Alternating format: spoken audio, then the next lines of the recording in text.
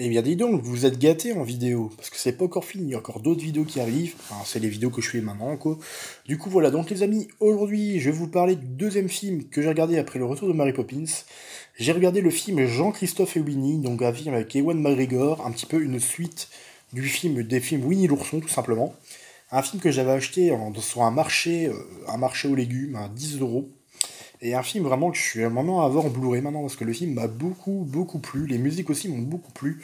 Voilà, donc le film, ça raconte l'histoire tout simplement de Jean-Christophe qui grandit, donc qui est incarné par Ewan McGregor, hein, et tout simplement, Winnie essaye en tout cas, enfin, traverse un âme et retrouve son ami euh, Ewan et Jean-Christophe. Hein. Mais bien sûr, Jean-Christophe a grandi, il est devenu adieu, donc il a un petit peu oublié Winnie et ses amis. Du coup, ben, en fait, Winnie ben, essaye de retrouver. Bon, c'est vrai, après, niveau scénar, c'est pas un truc de fou, mais le film est plutôt sympa en, lui-même. Hein.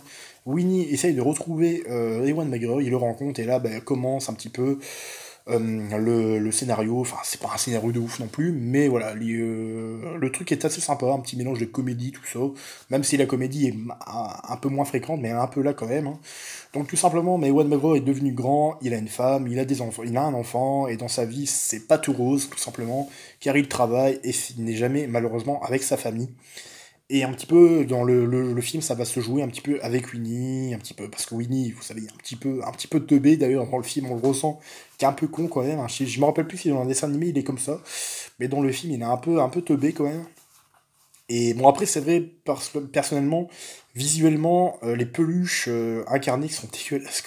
T'as l'impression que c'est des vieilles peluches, le truc. Enfin, après, voilà, je pense que c'est. Je sais pas, mais dans le film, les, les, peluches Winnie et tout ça, t'as l'impression que c'est des vieux trucs, des vieilles peluches, je sais pas, c'est trop bizarre, quoi.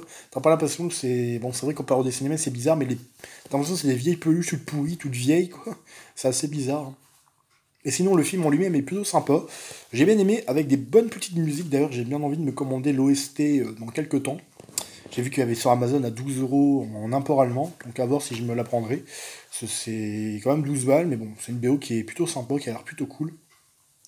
Du coup, bah, le film, plutôt sympa, dans l'ensemble, j'ai bien aimé. Avec, euh, voilà, bon, à part Ewan McGregor, le reste des acteurs, je connais pas trop malheureusement, mais bon, on a un film plutôt sympa qui reste assez correct, assez drôle. Sur certains passages, il y a des passages assez marrants. À un moment donné, il y a une scène qui m'a fait, qui m'a fait bien marrer. Quoi. Il y a Winnie, en fait, qui est dans les bras de One McGregor, il commence à parler, t'as un mec qui l'entend parler, et le mec, il se ramasse un putain de poteau dans la tronche. Comme rigoler à ce passage-là, mais quand même, le gars, il, il fait « Oh, j'espère qu'il s'est pas fait mal !»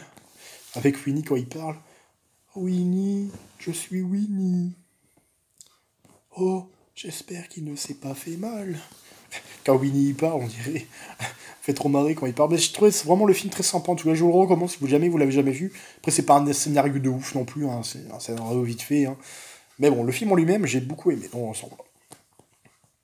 Du coup, voilà. Donc, les amis, petite critique finie également. J'essaie de pas trop spoiler, évidemment, hein, parce que voilà, euh, j'ai pas envie de spoiler non plus. Du coup, voilà. Donc, les amis, je vous souhaite à tous une bonne journée et je vous dis à tout à l'heure pour la suite des vidéos. Bye à tous, les amis.